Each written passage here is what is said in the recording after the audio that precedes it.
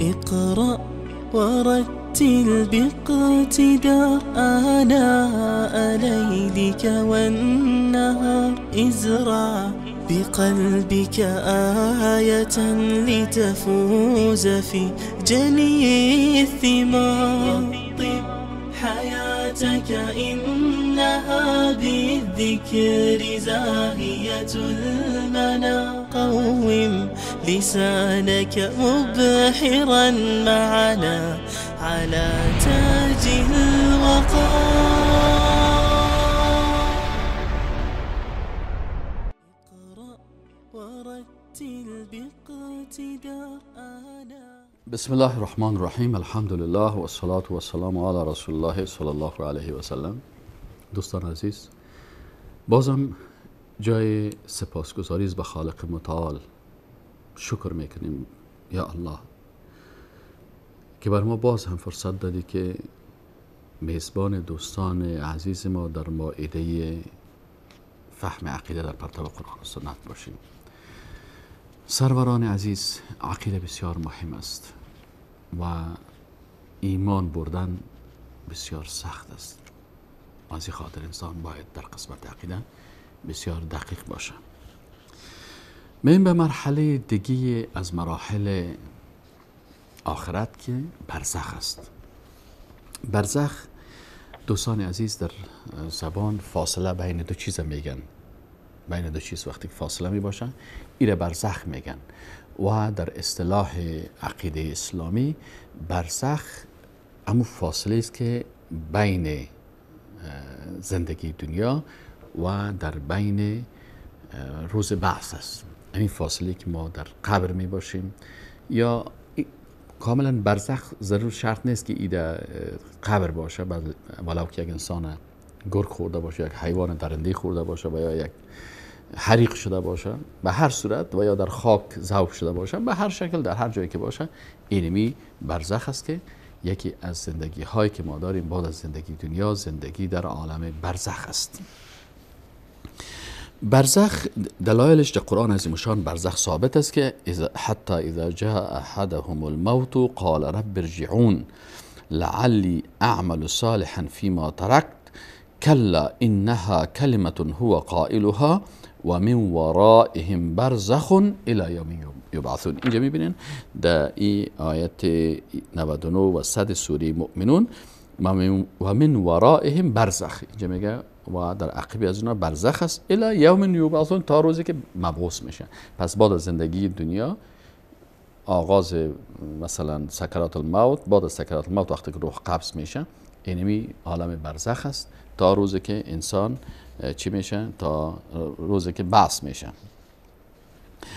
زندگی برزخ چی خصوصیت ها داره؟ یکی از خصوصیت های مهم زندگی برزخی است که زندگی برزخ مربوط غیب است. بنابراین ما زندگی برزخ نمی‌تونیم که با تمام تفصیلاتش رو بفهمیم به خاطر از که زندگی برزخ مربوط غیب است. فقط چون مربوط غیب است ما آنچه که در قرآن و سنت ذکر شده به شکل توقیفی او را چی می‌کنیم؟ می‌فهمیم.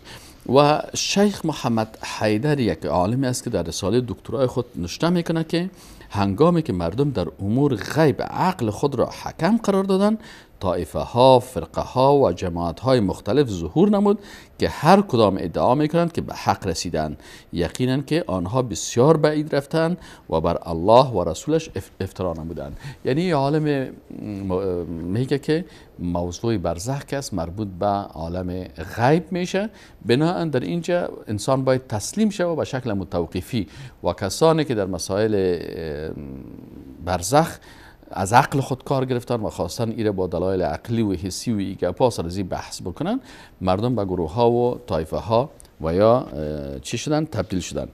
دیگه موضوعی است که عذاب و نعمت برزخ که است تنها در قبر نیست. یعنی علامه ابن ابی حنفی رحمت الله علیه میگه که وعلم ان عذاب القبر هو عذاب البرزخ فكل من مات وهو مستحق للعذاب ناله نصيبه منه قبر او لم يقبر. میگه این کسی که مستحق یک عذاب باشه این نصیب خود از او عذاب می‌گیره که دفن شوه و یا دفن نشوه در قبر. اکله السباع او احترق حتی صار رمادن یا ایره خورده باشه سباع درنده ها یا مثلا حریق شده باشه حتی صار رمادن و نصف فی الهوا و ای در هوا پراگنده شده باشد او صلب او غرق فی البحر یا در صلیب یا غرق در هوا شده باشه به هر صورت وصل الى روحه و بدنه من العذاب ما يصل الى المقبور اونم عذاب می‌بینن مثل که همون کسی که در قبر باشه اونا هم این عذاب می‌بینن. پس عالم برزخ تنها در قبر نیست. ولو که انسان حریق شده باشه و یا مثلا حیوانات رو خورده باشه این چی است او هم عذاب می‌بینن. دیگه نعمت و عذاب قبر که مثل دنیا واره نیست. چون مربوط به عذاب و نعمت های برزخ مربوط به غیب میشه و مربوط به آخرت میشه. بنابراین اگر یک کس سوختانده میشه سوختاندن از مثل سوختاندن دنیا نیست که یعنی محسوس برای ما باشه. شاید حتی یک مرده پالی دو نفر در یک جای دفن باشن. یکیش نعمت می‌بینه و یکیش عذاب می‌بینه. یکی از حالت دیگه نمی‌فهمه. پس این موضوعات است که مربوط به قبر میشه و ما نمی‌تونیم که اونمو متوفایی که او عذاب می‌بینه یا مثلا نعمت می‌بینه ما او را درک بکنیم چرا که این مربوط به چی میشه؟ مربوط به عالم برزخ میشه. خب اینال زندگی های مردم در, در, در چی هستن؟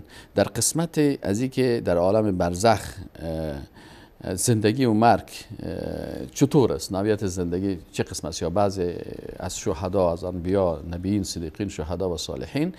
دوستای عزیز در این قسمت دو قسم آیات آمده. بعضی آیات در قسمت مرگ پیغمبرا و نبیین صدیقین و شهدا در ازنا بعضی آیات آمده که میگه که اینا میمیرن.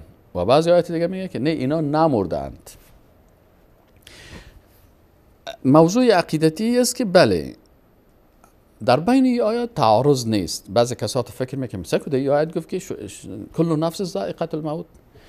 هر صاحب نفس میمیره. و در این آیت دیگه میگه که ولا تقولوا لمن يقتل في سبيل الله اموات بل احياء ولكن لا تشعرون پس یه از به شما سوال می‌کنم خب برادر بین از آیت و بین از آیت تعارض است. نه خیر تعارض نیست. چرا دو حالت است؟ اگر ما حالاتش ببینیم باز تعارض از بین میره.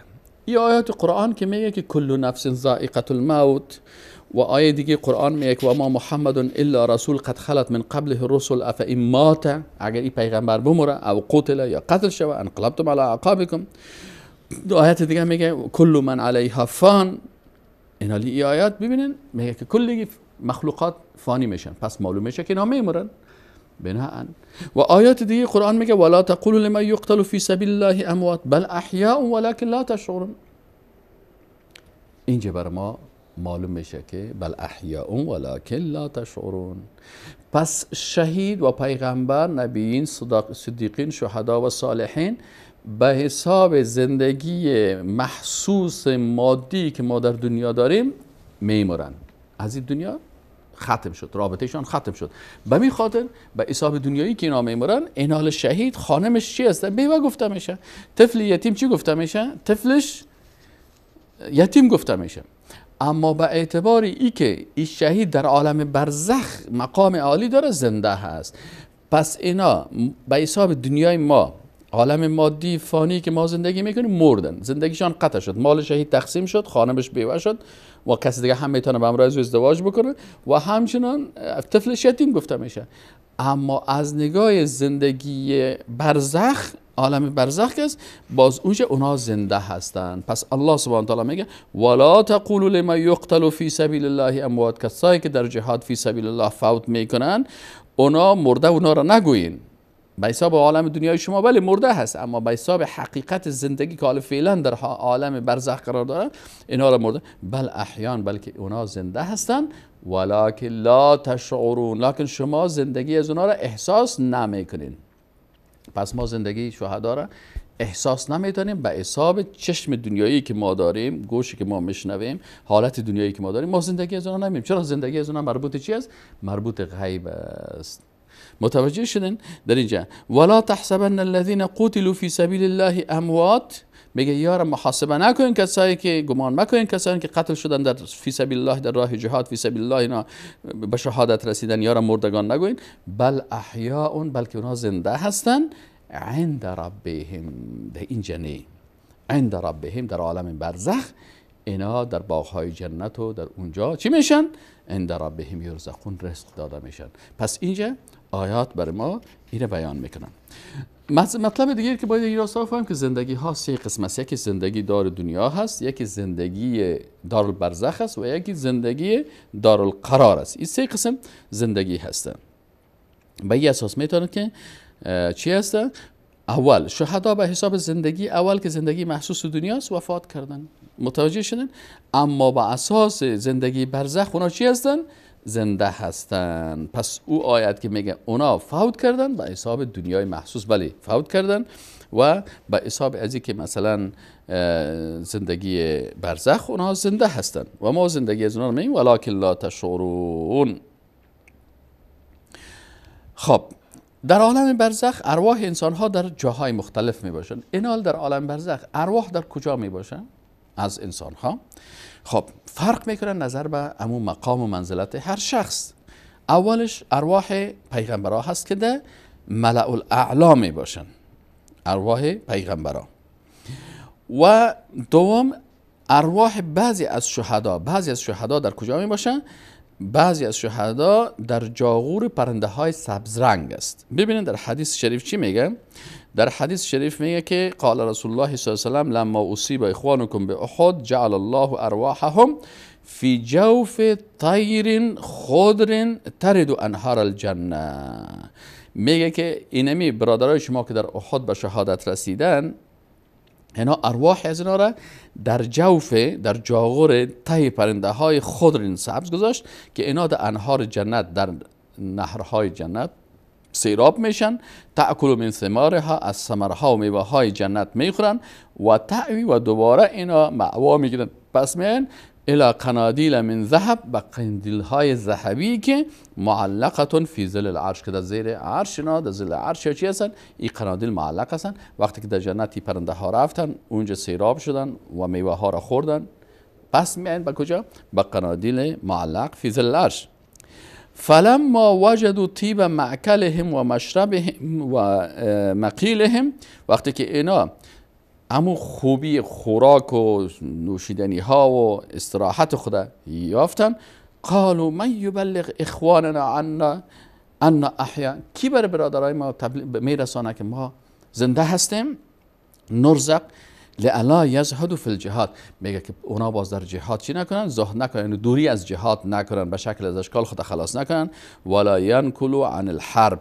یا از حرب دوری نکنن. فقال الله سبحانه و تعالی انا ابلغهم عنکم. الله برشان گفت که شما در جایتان باشین. ما اینه برشان میرسانم. قال فانزل الله ولا تحسبن الذين قتلوا في سبيل الله. این آیت شریف نازل شد که شما کسانی که در راه الله شهید شده هن کشته شدن اینا را مرده فکر نکنین بلکه اونا به نزد پروردگارشان چی میشن؟ اینا را مرده بل احیاء عند ربهم یرزقون بلکه نازنده هستن پیش پروردگارشان. سوم ارواح خارج بهشت است. یک تعداد از شهدا هستن که در چی می باشن در خارج بهشت می باشن خب اونا ارواحشان در نهرها و چیزای جنت میره. قسم سوم ارواح هستن اینا کی هستن؟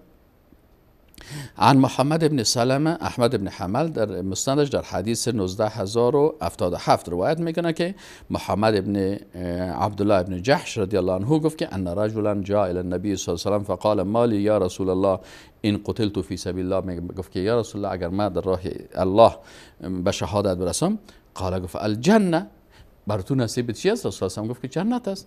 فلما ولا وقتی که میگه این صحابی روی خود دور داد قال الا الذي الا الدين. میگه گفت که بغیر از دین سارنی به جبریل و علیه السلام آنفر گفت همیل دستی؟ جبریل علیه السلام آمد و بر ما گفت که او شهیدی که در راه الله شهید میشه به شهادت می‌رسه فی سبیل الله در جهاد فی سبیل الله. پس این شخص در صورت که دیندار باشه باز ای ارواح از در کجا می باشه؟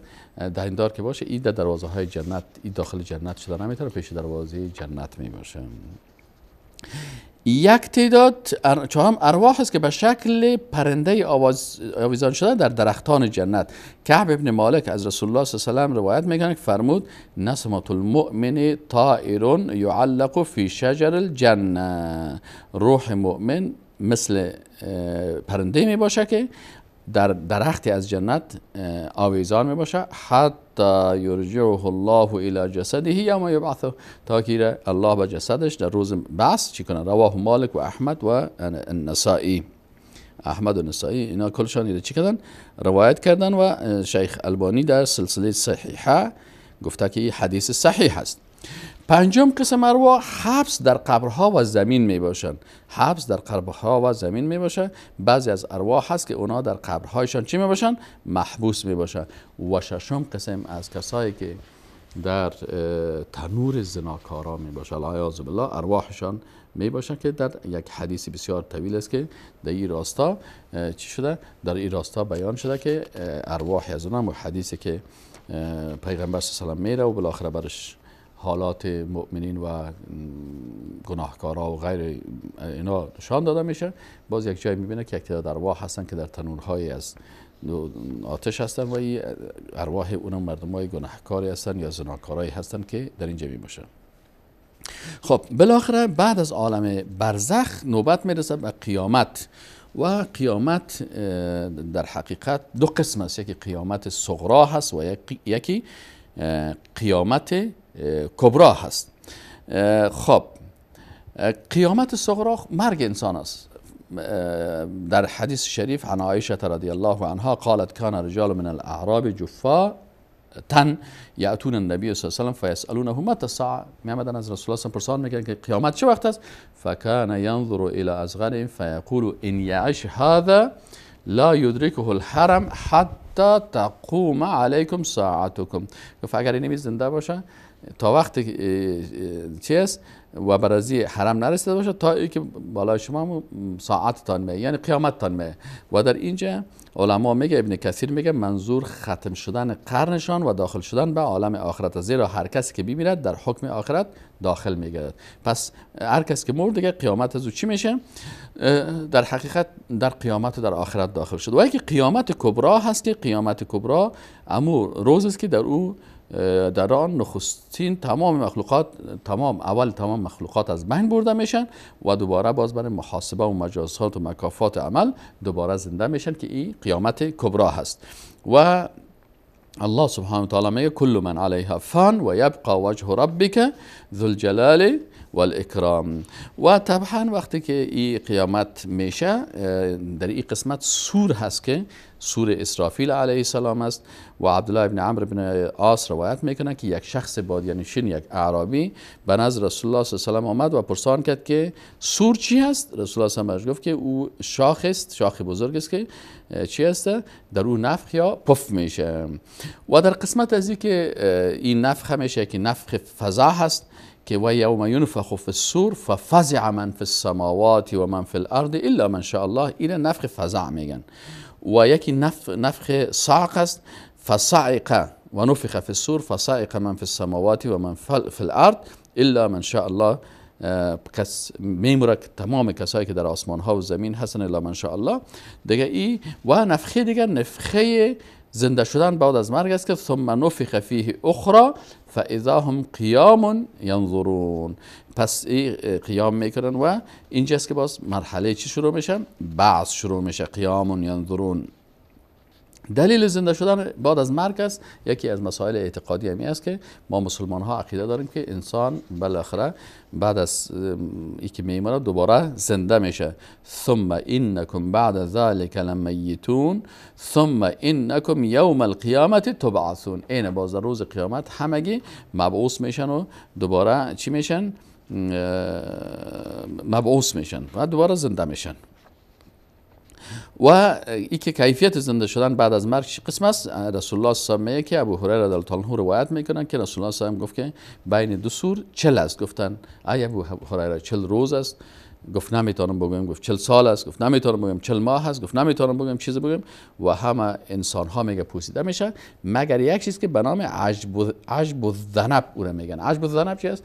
او را میگن که در آخرین قسمت ستون فقرات انسان یک چیزی هست که او را ما سلول بگوییم یا مثلا به شکل حجره بگوییم که او نه توسط آتش از بین میره و نه توسط آب از بین میره و بالاخره باز مردم در روز قیامت مثل که اونم عجب ذنب انسان امی عجب الذنب کسی میگه موجود می‌باشه نه که آتش او میسوزه و نه که خاک و از بین میره بالاخره او میگه موجود می‌باشه و انسان ها در روز قیامت از اینمی مثل چی واره؟ مثل نباتات واره. دوباره در روز قیامت به اساس امر الهی اینا دوباره چی میشن؟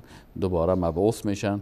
الله متعال ما و شما را توفیق نصیب بکنه که در روزی که دوباره زنده میشیم سعادت آخرت نصیب ما شود و الله ما را توفیق نصیب بده که خاتمی ما با کلمه لا اله الا الله محمد رسول الله شود. و روز بحث ما و زنده شدن ما در مقابل خالق متعال روز خوشبختی ما باشه نه روز بدبختی.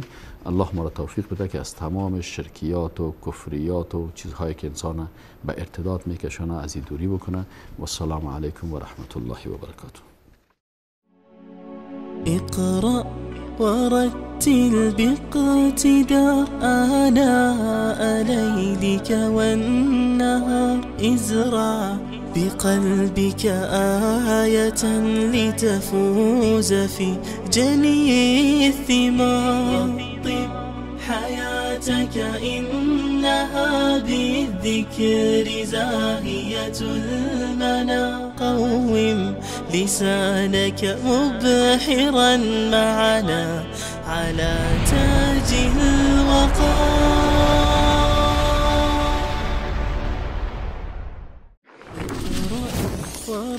ورتل باقتداء آناء ليلك والنهار إزرع بقلبك آية لتفوز في جني الثمار. حياتك